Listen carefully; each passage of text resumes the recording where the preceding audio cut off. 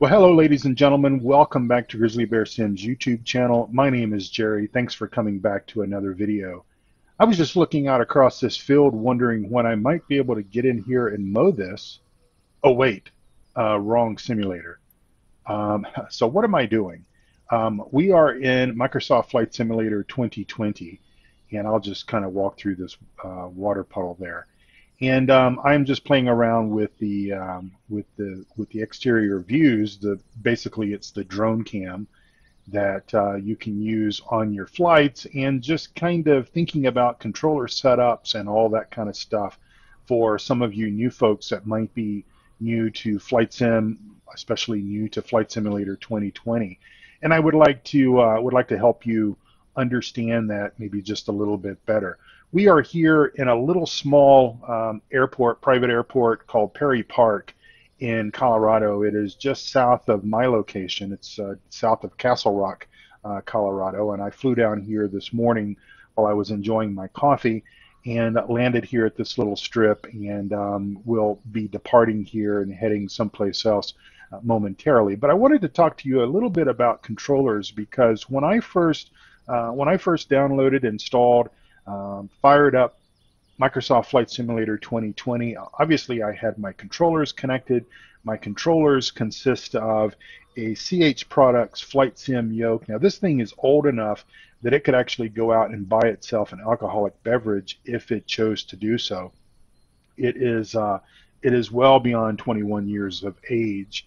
Um, I bought this when I moved to Colorado about 22 years ago, so it's probably pushing the 22 year mark uh, more so than maybe the 21 year mark, but I digress.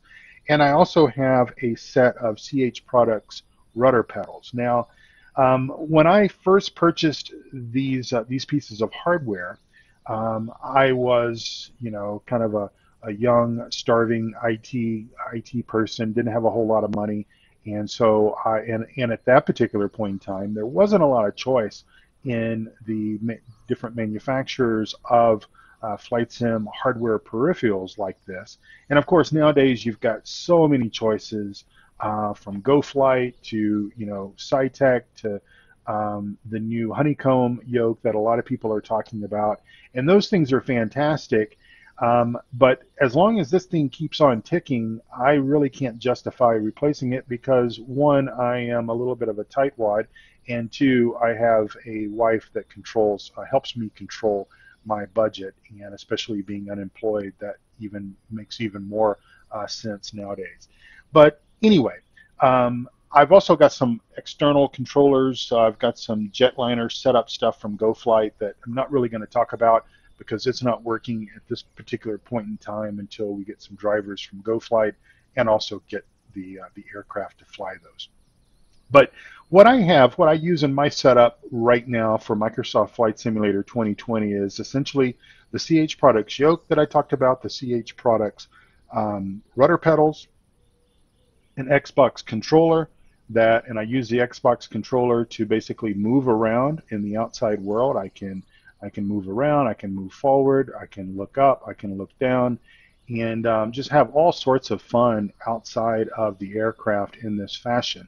We can simulate a complete uh, aircraft inspection if we want to, you know, whatever whatever we want to do, or even just like I was doing before, just kind of take off and start uh, walking around in this entire world that we have.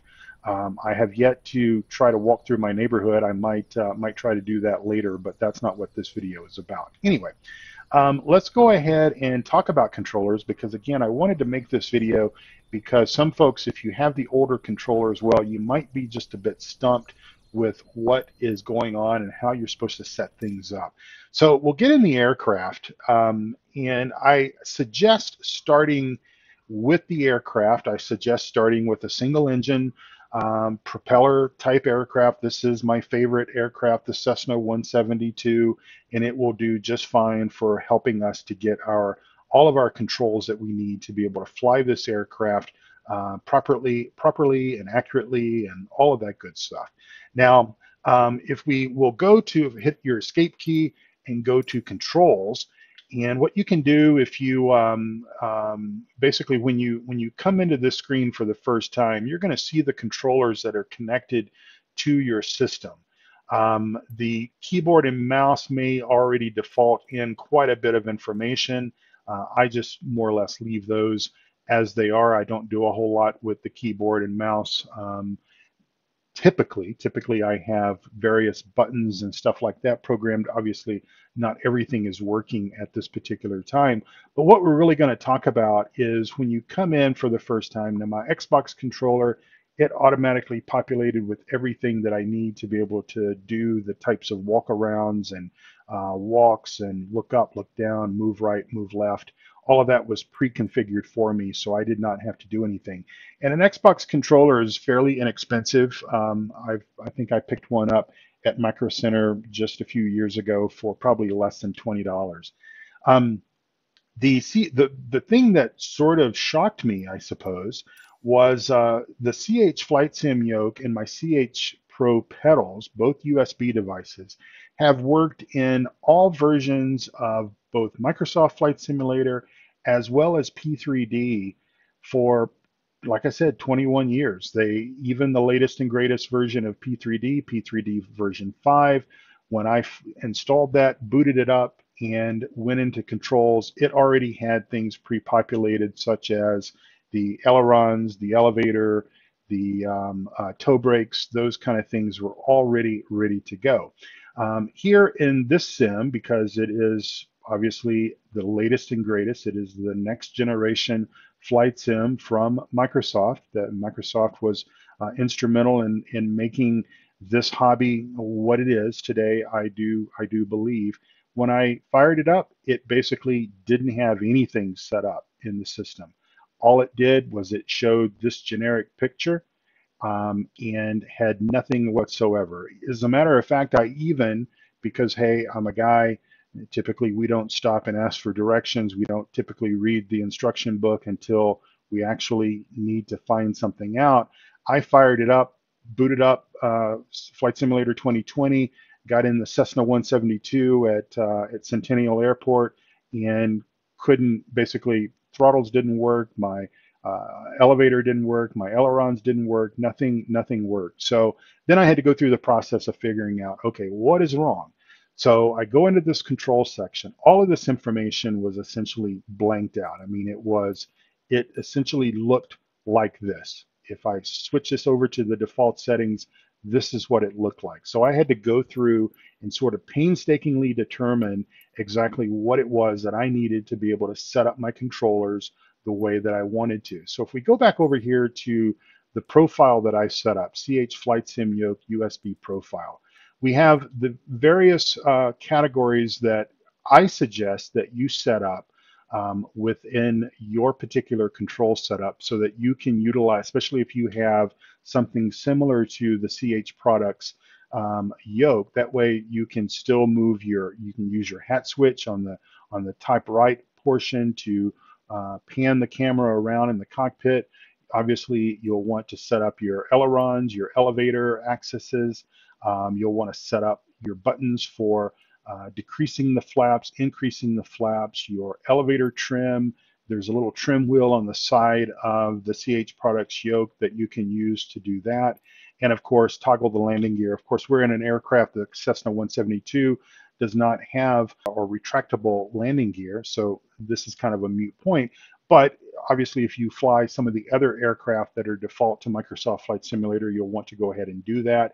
And then, of course, um, you'll want to set up your mixture axis, uh, your propeller RPM accesses if you're in uh, aircraft like the um, uh, like the Beechcraft, something like that, or and also set up your throttle axis. Now, obviously, the Cessna C-172 is a single-engine aircraft, but I have been flying some of the uh, some of the dual-engine uh, aircraft, and obviously you need both a throttle one and a throttle two, and they happen to be the exact same axis. It's just one throttle uh, control knob on the CH Products um, yoke to control that. So it's both the same thing. So when you slide it up, it basically is going to uh, accelerate both engines at the same time. Now you want to make sure that you use the axis um, uh, identifier here because that way you get full range, full control throughout the full range of your slider, okay? Um, and let me just kind of switch back. We'll switch over here to default, and I'll kind of show you what um, what you can do to kind of help you uh, help you uh, pick out the ones that you want. So when, if you come in here like I did, this is what you're going to see. It's gonna, this section here is going to be blank. You're going to see this generic picture of, I believe this is the uh, Warthog um, uh, by Saitek, I think. Don't quote me on that. But anyway, um, that doesn't matter. So you come over here and you can go to Essentials. And basically the Essentials are the category or the filter of the things that you really need to be able to operate the aircraft. And um, for example, if we come up here and we search by name, we can um, uh, we can find that we have decreased throttle and increased throttle. And you just select those and pick the uh, pick the one that you want. We'll go actually we'll go with all um, because that way we need to see we need to see the axis. If you just do if you just do the um, if you just do the essentials, this will basically if you move the throttle lever all the way forward, it's going to give you 100% throttle. If you move it back 50%, you're still going to have 100% throttle until you bring it all the way back to zero. So you can't really fly that way. So go to all, um, throttle one axis, you just click in the box here and search by input. If you click this and you move your lever, it will automatically detect that we want to assign joystick uh, left axis Z and we can click validate and it will put that information into our settings for our controls. I'm just going to cancel this out because I'm not going to change my my settings. Now the same the same will apply for the CH products our CH products pedals uh, USB device. If we come over here and if we look at uh, at what I ha have assigned, you'll see that I've assigned the left brake axis, the right brake axis. These are my toe brakes so that uh, so that I can slow down. And then also my flight control surfaces, I have set up a rudder axis so that I can basically um, both use the rudder in the air as well as on the ground to steer the aircraft. And so here are my toe brakes, toe brake right, and toe brake left.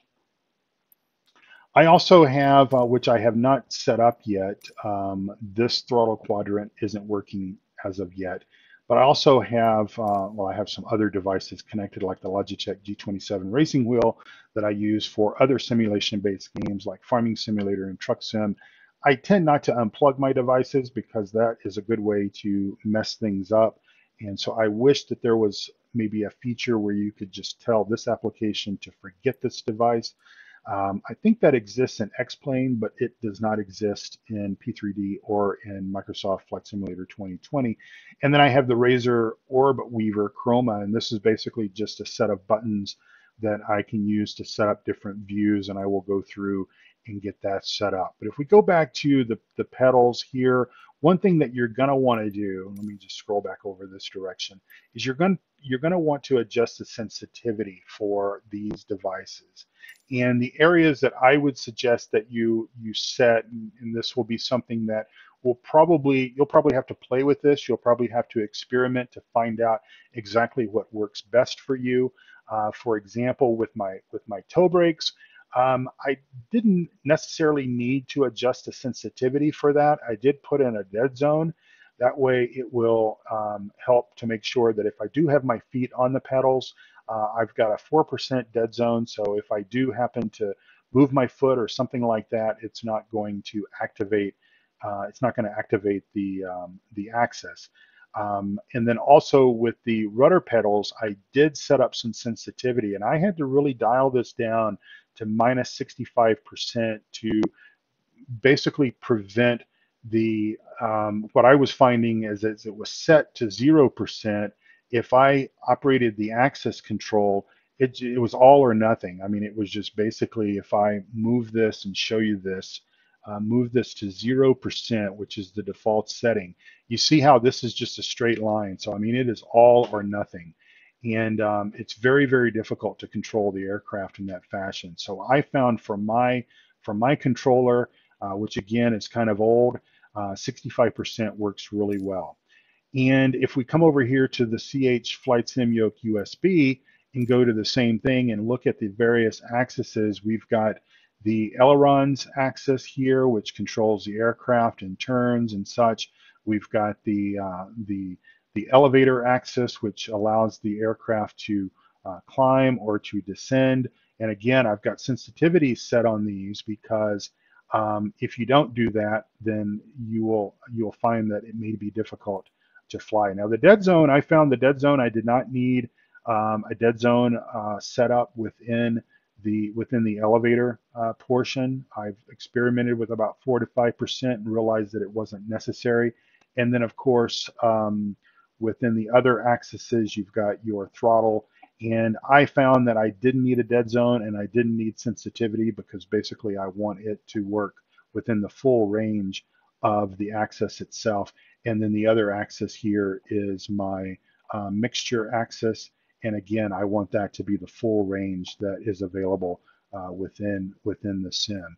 But I'll show if we knock this back down to, let's see, this is, this is the up and down. So if I knock this back down to zero, and then we go out, I'll demonstrate kind of what this behavior looks like. And we'll go back, we'll apply, and then we'll go back into the into the aircraft. And then you can kind of see, I'll put my yoke back, and you can see that um, how it just how it just flicks over like that. I found that that was very difficult to uh, to control the aircraft in that fashion because you're you're turning you're turning and then all of a sudden it just goes full full hard left or full hard right. So that's really what I wanted to share with you all regarding controller setups. I'm going to go back in here and reset this the way that it was because otherwise I will have a heck of a time uh, trying to fly my aircraft out of uh, Perry Park here. So 65% was my magic number. And again, your mileage may vary. You may not need to set up quite, um, quite as an aggressive sensitivity, or you may find that your dead zone might need to be even greater than 4%. It might, if you have a really uh, if you have, if your springs are worn out in your controller, whatever, whatever it might be, you might need to increase this even to 5%, 6%, something like this. But I find that, you know, a little bit gets you a fairly long way. So we'll go ahead and save this. I'm going to apply those settings back so that I do not lose those. And just thank you all so much for watching my videos. I hope that this has helped someone um, get their, maybe their older flight sim hardware working in the new sim. It absolutely does work. You've just got to do a little bit of extra work um, to make that happen. And um, until next time, I would hope that you um, enjoy this video. I hope that it's been helpful to you. If I can assist you with additional questions regarding your setup within Microsoft Flight Simulator 2020 or even P3D as far as that goes, uh, please feel free to uh, leave a comment down below or head over to Discord and message me on the on my Discord server, Grizzly Bear Sims Discord server, and I would be happy to try to help you so that you can get the most out of your simulation experience as well. Um, please like and subscribe to this video. I would appreciate that very much. It really does help motivate me. And thanks you, uh, thank you again for watching. And God bless you all. Take care and see you in the next video. Bye bye.